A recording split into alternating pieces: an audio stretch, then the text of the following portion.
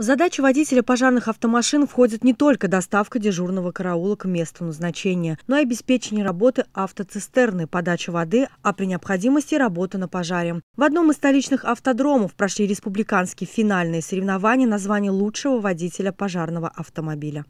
Соревнования состоят из 10 этапов. Это у нас э, колея, э, заезд в бокс, э, потом, как вы видите, здесь у нас круг, тоннельные ворота.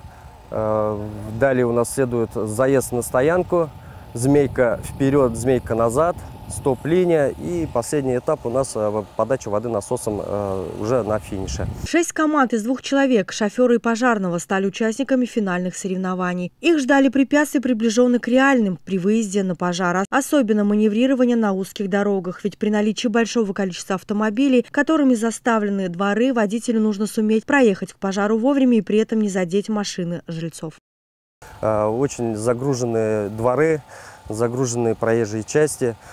То есть э, гражданскими э, автомобилями на дорогах э, невозможно проехать пожарным автомобилем по габаритам. Им приходится изворачиваться среди гражданских автомобилей, что даже данные соревнования им очень помогают Целями конкурса является повышение профессионального уровня водителей пожарных автомобилей. Лучшая команда была определена по количеству времени, затраченного на прохождение испытаний и сумме набранных штрафных баллов. Соревнования, да, дают мне возможность а, получить побольше мастерства вождения пожарной машины, навыкам.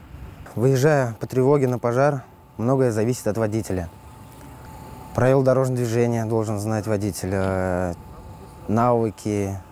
Э, То есть вся команда, весь караул надеется на водителя, чтобы водитель доставил на место пожара в целости и поскорее, да.